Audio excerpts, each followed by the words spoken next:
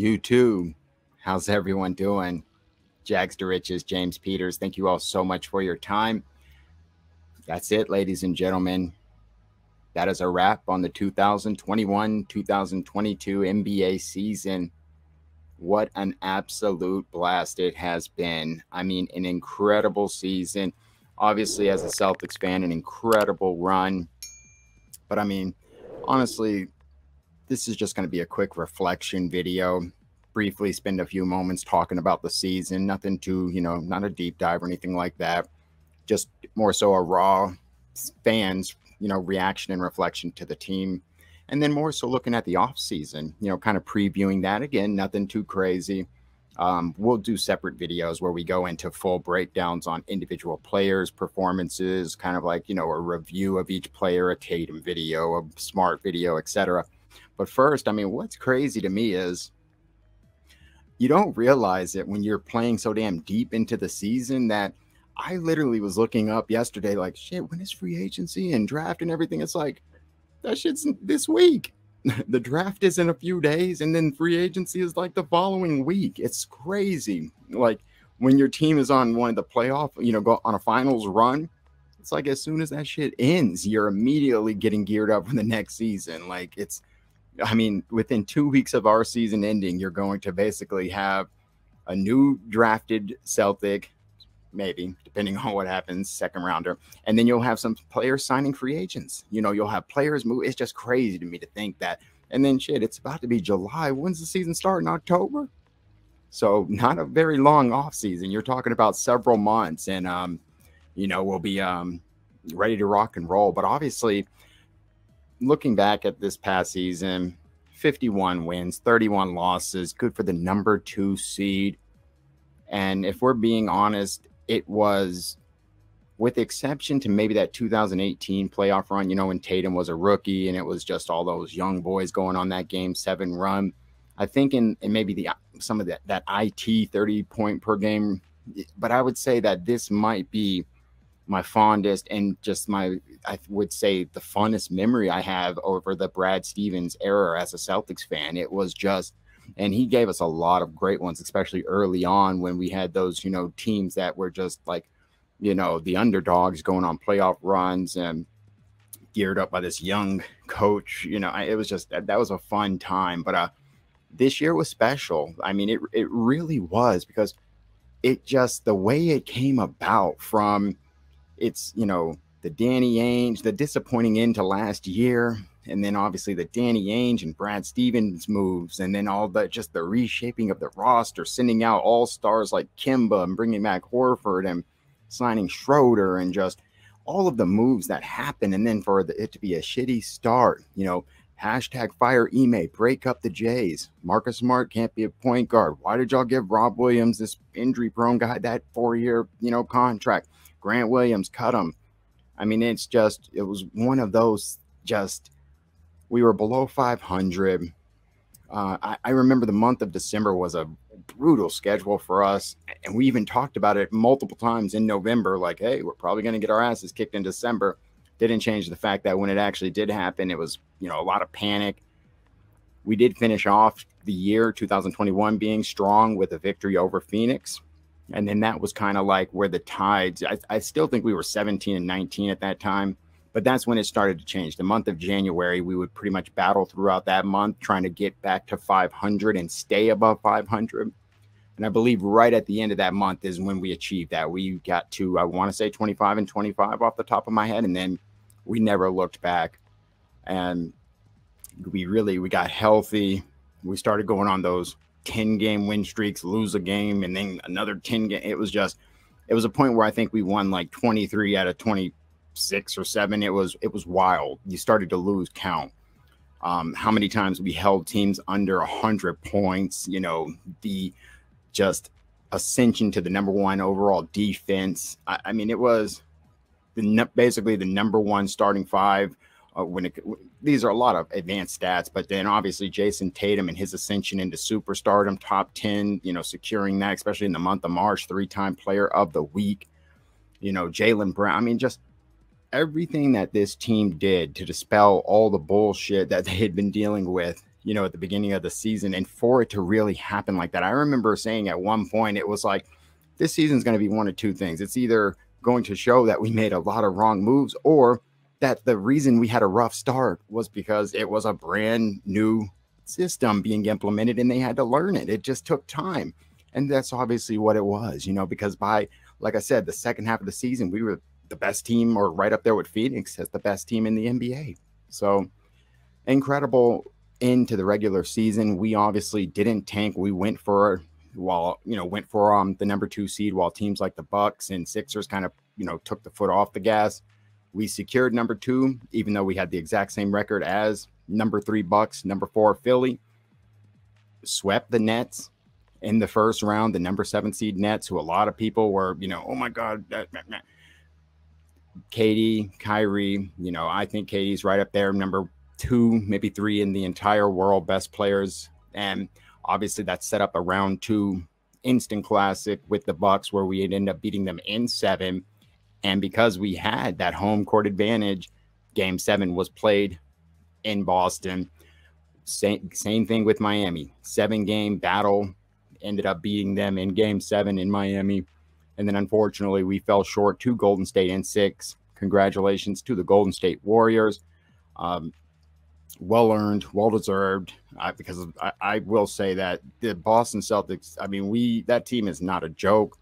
Excellent defensively, led by you know two of the brightest stars you know in the sport today. You know, as far as just being 24, 25, and just their path forward is it really is you know beautiful and incredible to watch. You know the strides that Jaylen and Jayson have taken each year. Obviously, Jayson into what is now a superstar, and then Jaylen to an all star. I mean, it's just, it really is. That's a tough team, well coached, and um, we're on a hell of a run. So Golden State just showed, you know, levels to this the championship pedigree that they've had. Four out of the last eight, six out of the last eight they've actually been to. I mean, Steph Curry, arguably the greatest point guard of all time, you know, right up there with I'd say, you know, MJ, uh, Magic Man. But uh again, no shame in losing to them. I thought Stephen A. Smith, again, who I thought was brilliant throughout this finals, uh, said it best. He said, I think that the Celtics beat any other team except for Golden State, just based off of their experience and the fact that a lot of the things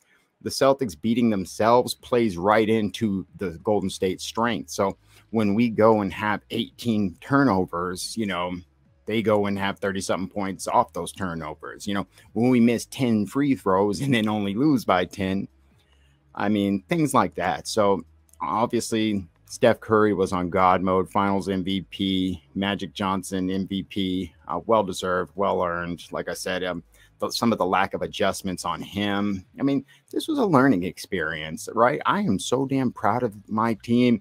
I can hold my head as high as I want because, as I said in my last video, imagine criticizing the two teams that are playing in the finals. Like, what?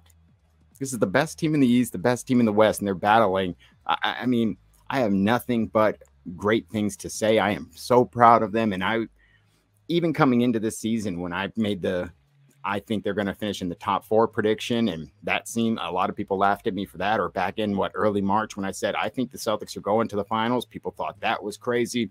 And for us still to actually, you know, to make it there like my man Jack Bienvenue, tattoo guy. Shout out to him, man. Um, back in March, also getting that tattoo, but for it to just seem like such a far fetched, no shot in hell chance of happening, but then it's like we actually make the finals. We are inching closer and closer, and then to achieve it, to actually go on this run, it was special. It was beautiful, and again, I am proud to be a Celtics fan. I'm proud of this team, and the the um the future is extremely, extremely bright. But again, um, nothing but love and respect to the Golden State Warriors and Steph Curry. He's one of my favorite of all time. I was, I think, in high school. I was like a freshman when he was at Davidson, like going on his run. So I've been there with him every step of the way. Uh, same with Klay Thompson. I love him. So no shame. Um, no sting to the pride, just a little disappointed because obviously when you're two games away, and because if you look, I mean, that game four, when you have an opportunity to go up 3 1 you're at home and you again we, we can get into you know the game four and game five Shit, even game six, Tatum's only scoring two in the second half. But at this point, it, it's kind of irrelevant. It is what it is. But uh, looking at this upcoming offseason, man, that's what this is basically about. So again, I mentioned the draft. It's that's pretty simple. You know, no first round picks unless we trade back in, which I don't see why we would do that. We have a second. It'll probably be the same thing as last season when we drafted, you know, Juhann Begarin out of France and basically sent him back over there to develop. You know, we've got Juhann, um, Yam Madar. We've got some of those European players, overseas players over there developing.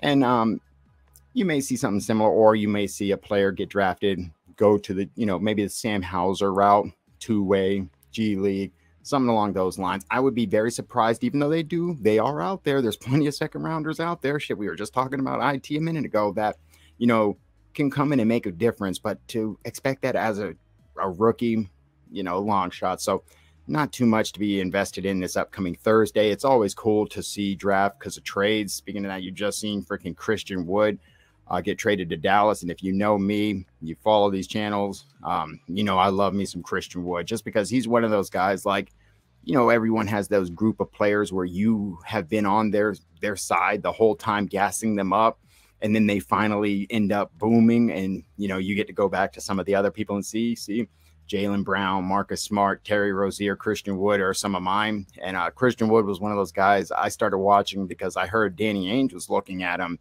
uh, when he was with Detroit. But that trade, I think they wanted a first, and Danny was like, hell no. But uh, I started paying attention because that's when Drummond got traded and he took off. And ever since then, and then when he got traded to Houston, basically a 20 and 10 player while shooting 39%. So I would have loved that. So seeing, you know, draft day trades are kind of true, are, are always cool. But for the Celtics, it's more so about the following week and free agency. Now, you're always going to hear Bradley Beal, Zach LaVine, and you know that. Listen, guys, we do not have that type of money. We cannot sign those type of players. Yeah, I mean that's just that is not realistic.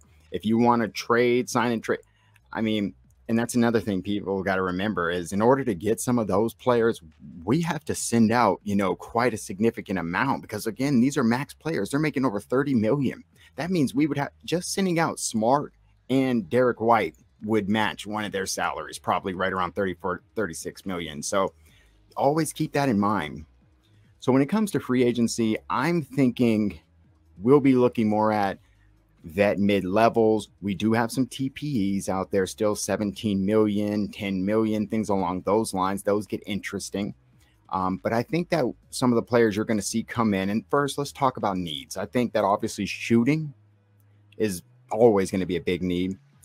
Uh, so, wings, depth. So, shooting, wings, playmaking, front court, just depth in general, right?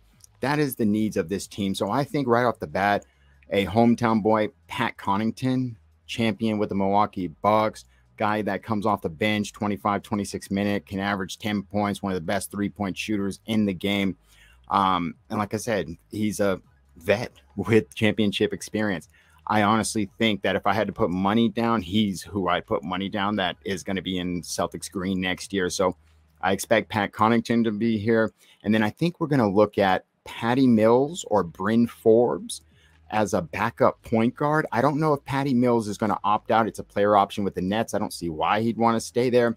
And if he does, I think that if he opts out, I think he has a good chance he ends up in Boston based on his relationship with both Ime Udoka and Derrick White. Let's not forget, you know, him and Derrick White basically played side by side in San Antonio for years. So I could easily see that. And again, both Connaughton, Patty Mills, those are guys that are affordable. You know, they would be probably willing to accept somewhere in that 10 to 12, maybe one of those, you know, that like I said, I think that instead of saying like the $30 million Beals of the world, these are players that are more realistic. Um, who else? If Patty opts in, I think maybe a Bryn Forbes um, is another one that's very realistic. He's one of those guys that, you know, obviously another one. He's a champ, you know, with the Milwaukee Bucks.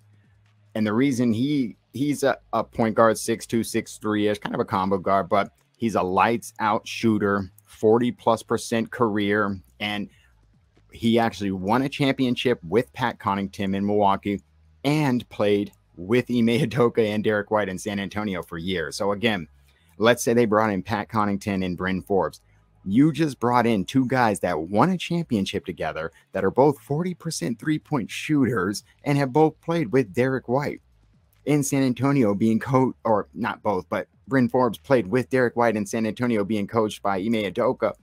And those are going to be the guys all coming off the bench together. So you're bringing in Bryn Forbes, Derrick White, Pat Connaughton, all three. I mean, you kind of see where I'm going with that. So those are some of the players I think are very realistic. Um, some of the other guys to keep your eye on um, Kyle Anderson, from Memphis. That would be these are maybe like more home runs. Like if these would be bigger deals, like if we could get some of these guys, like when I say bigger deals, not financially, I'm talking about just like, holy shit, that's a great signing. Um, Kyle Anderson, TJ Warren, maybe on a deal. Who knows? Um, Taurean Prince, Rob Covington, um, Nicolas Batum, some three and D wings, Montrezl Harrell, some front court depth. I mean, because right now you've got basically Rob Williams, Al Horford, Daniel Theis. However, at the end of this year. Al Horford's contract's up. He's also going to be 37 years old. So it kind of gets interesting. You know what I mean? So maybe they look to bring in like a Montrezl Harrell, Thaddeus Young, Mo Bamba, uh, Jalen Smith, one of those type guys that could, you know, compete for the number three ish, you know, with Daniel Theis. And not to mention, maybe bringing in some size. You know, that's something we have truly lacked, you know, is just having that true, you know, 6'10, 6'11, seven footer that can, you know, 260, 270 that can actually come in and bang. You know what I mean? Now, obviously, Jalen Smith, Mo Bamba, guys like that, Robin Lopez, they fit that. But Montrezl Harrell, you know, you know what he gives you, spark plug off the bench, that young of that. But um some other home run guys I would really like if we could get like that would be Malik Monk is probably my number one. Um I've been reading that he could potentially be looking at accepting a mid level, and it's just like if you can get a guy like him who could be that starter or coming off the bench spark plug scorer who just averaged 15 a game in you know the Lakers who balled out in Charlotte. Um, I think that would be a home run. I also like Otto Porter Jr., who just obviously won, you know, championship with Golden State. I've heard Gary Harris, you know, out of Orlando. So I mean, there, there are a few interesting guys, you know what I mean? But to me, like I said, it, it's a very clear path because this free agency is not the one as interesting as the following one for me. Because the following one, what happens? Al Horford's 27 million is coming off of the books, right?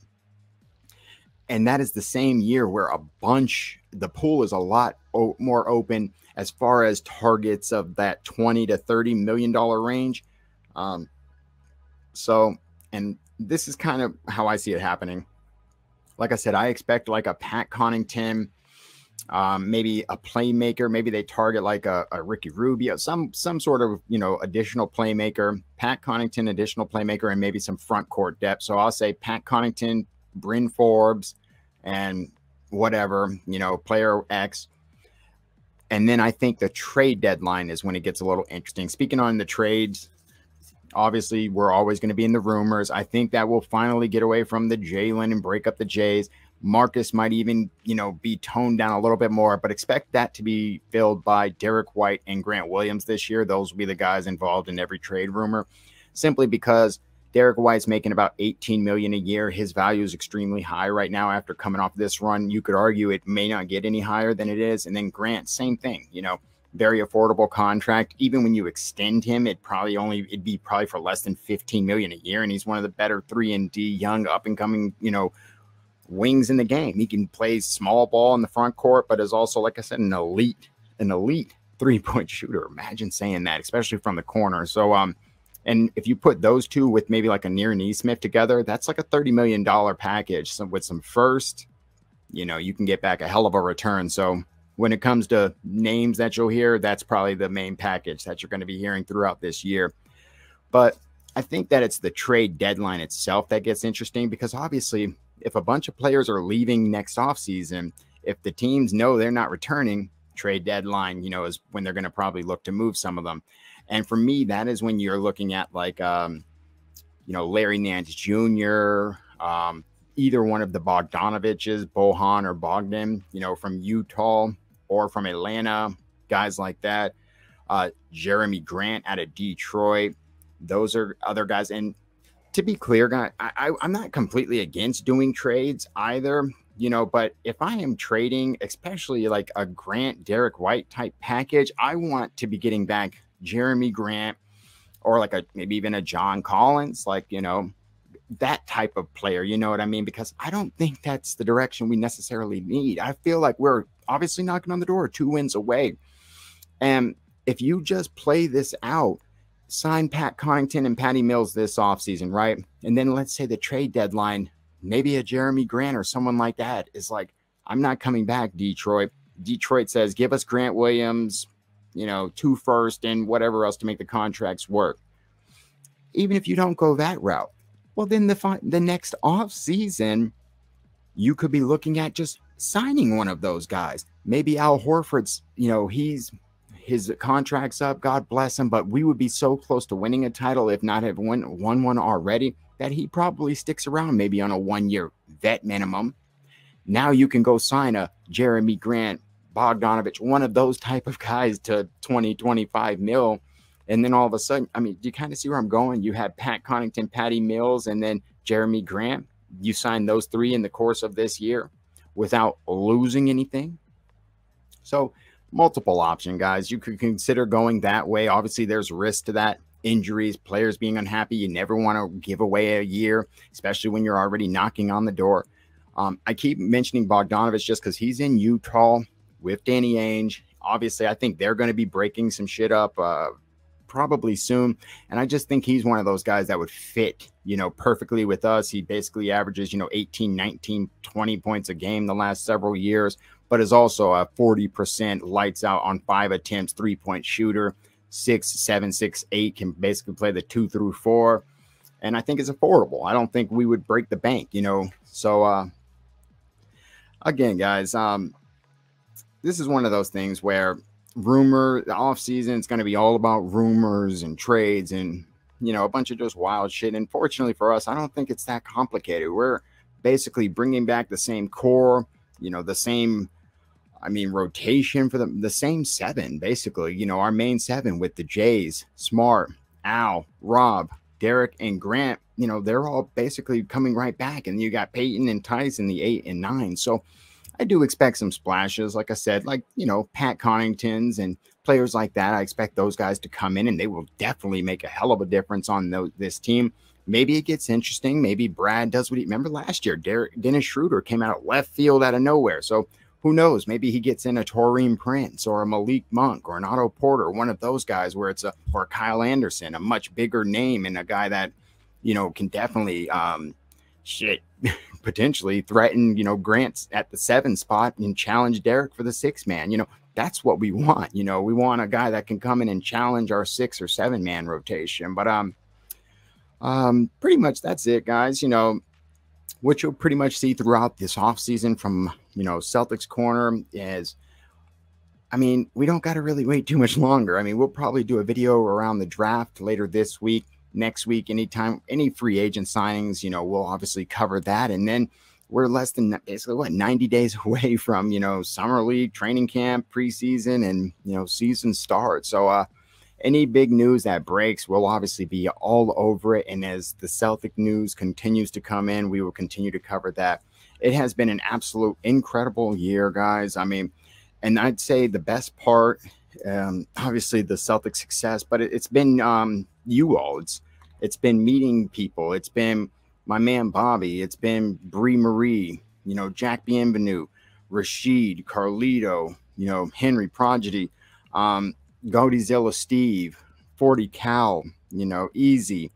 Uh, I mean, all the guests we've had on Anna Horford, you know, John Corrales, Bobby Manning, Ev Guy Boston, uh, Max Letterman, you know, Adam Taylor times two. You know what I mean? Um, there's so many Laney, and I, I mean, I, I, could all my men with the Celtics Reddit podcast, Celtics Jay and freaking Ben and Spoonie. There, I couldn't. I, I'm if I'm forgetting, forgive me, but um, the people in the comments, the Landons, and um, just you know, my man um, Justin Chapman, and I mean, there's so many badass and the dialogue. And for someone like me in Florida, people down here don't want to hear shit about the Celtics, guys. It's all about the Miami Heat, Orlando Magic, Atlanta's a little bit north. I mean, they're not trying to hear about Boston. So to be able to come on here and just you know, share my mind and opinions with you all. And for you to give me the time of day is the greatest honor. And, you know, knocking on the door of 500 subs right now is surreal to me, you know. And if you look back at the beginning of the year, some of my early videos and just the journey that we've all, you know, with Celtics Corner, Bobby and myself, and just, you know, how far we've come and what we've been able to accomplish together has been absolutely brilliant and beautiful and I am honored again, guys. I'm honored to, you know, have this opportunity to meet you all, speak to you all, and cheer on this amazing team with you all. Thank you again. I hope you have an incredible conclusion to your weekend, an incredible off season. If you haven't sub, please sub. Videos will be coming out weekly. We'll be covering any and anything, everything Celtics, Jags to Riches, James Peters. Thank you all so much for your time. Take care, guys.